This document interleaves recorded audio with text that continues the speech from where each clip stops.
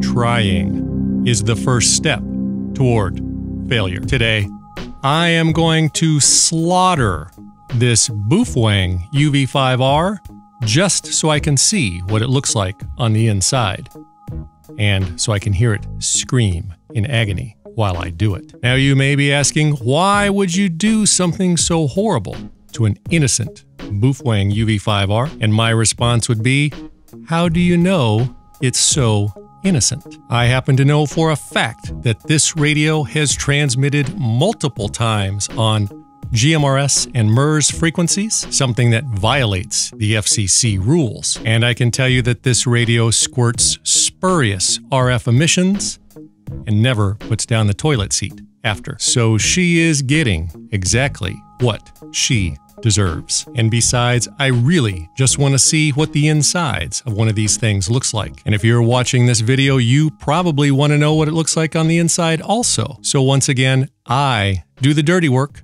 so that you don't have to. I don't really have very many tools. I'm not one of those tool guys. So I'll have to make do with what I have. I think I have everything that I'm going to need based on the reading I did online. Don't worry about this. This is just a prototype that Wouxun sent me of a KG-S88G. I'm not allowed to talk about it, but I am allowed to show it. That'll be for another video. Now, before I get butt deep into this, allow me to clarify that this is not a take apart and then put back together again video. So if you're watching this video to learn how to open up your Baofeng UV5R and then put it all back together, I'm going to show you half of that. I'm going to try to put it back together, but I'm probably not even going to bother videoing that because I'm taking this apart just so that I can see what it looks like on the inside. I expect that she's going to die a slow, painful death. So this is not really like a surgery. This is more like a pre-autopsy. This is a working Baofeng UV5R. Oh, she's she's saying something. She's she's saying that she's fine and she doesn't need surgery. That's not going to matter. So to oh, now she's asking Xenu for forgiveness before she goes to join him in the volcano in the sky.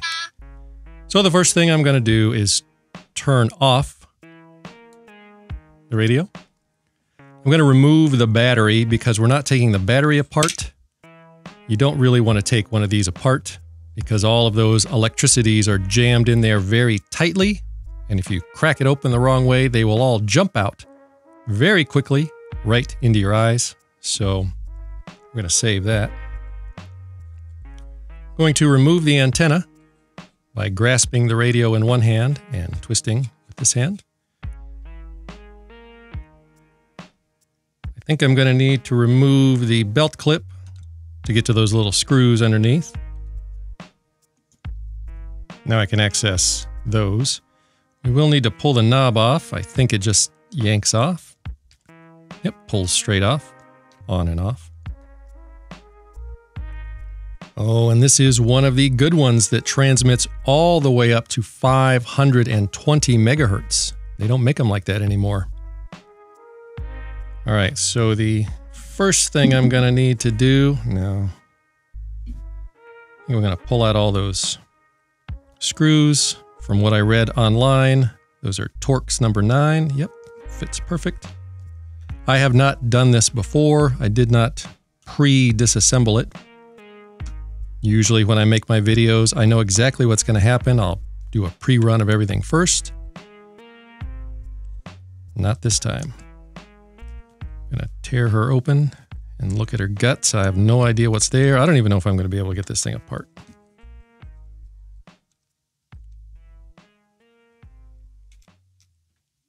Uh, that's the little lever that releases the battery.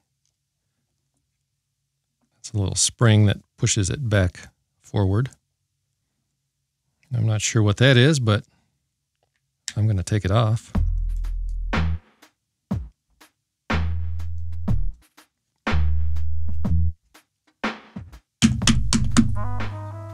All right, those probably need to come off.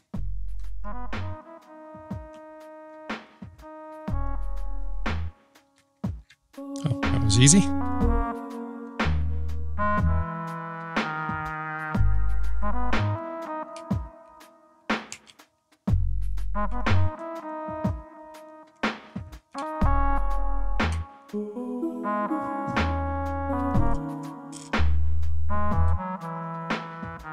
Also easy.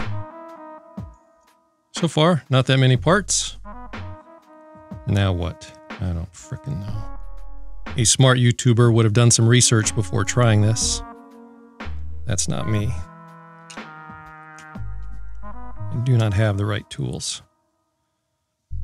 Come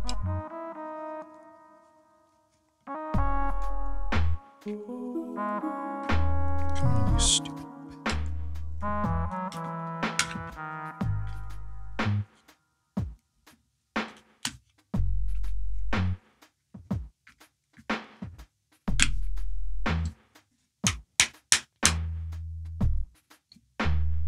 Actually helped.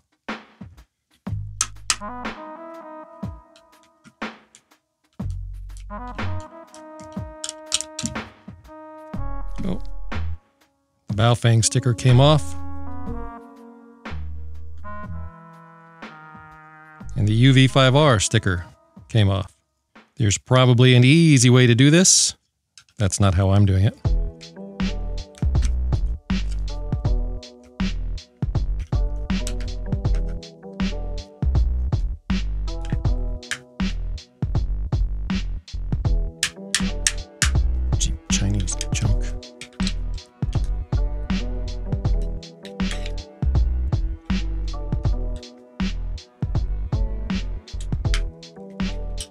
I had to twist there and pop it open.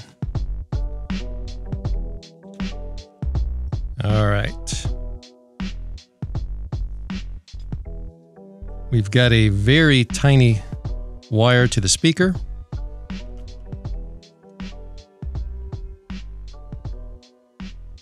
That's the keypad.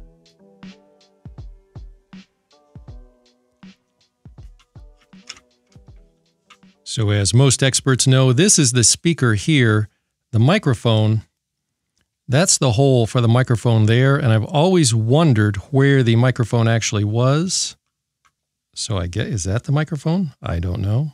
That's what the hole lines up with. Sometimes people will take these apart just to drill that hole out to make that hole larger so that more noise can go from your noise hole through that hole into the microphone. That's the monitor button there. I think I broke the push to talk button. The call button still works. Yeah, I broke the push to talk button. Let's go deeper. I'm not sure if that's a screw or a potentiometer. More screws on the antenna mount.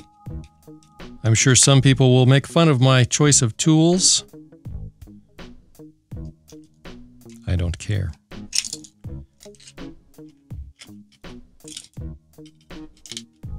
Ah, the LCD. Ooh. Uh oh. It's trying to say something.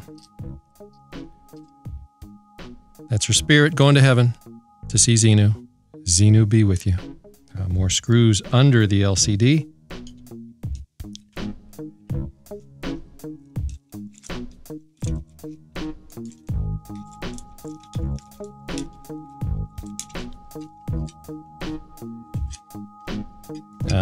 Good stuff.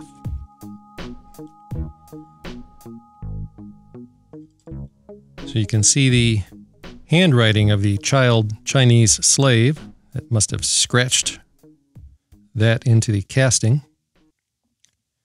That was the volume potentiometer. So on the back of the radio, we've got the input jacks for the K1 connector, the LED, the SMA connector, some of those little things and doohickeys. One of these is the SoC, the system on a chip. I have no idea which or what is what. I'm just looking at the guts, watching her bleed. So that is pretty much it. Now you know what the guts of a Boofwang UV5R looks like. The battery is still good. But that's about it, so I am sorry to inform you that the patient did not survive. Please leave your heartfelt condolences below.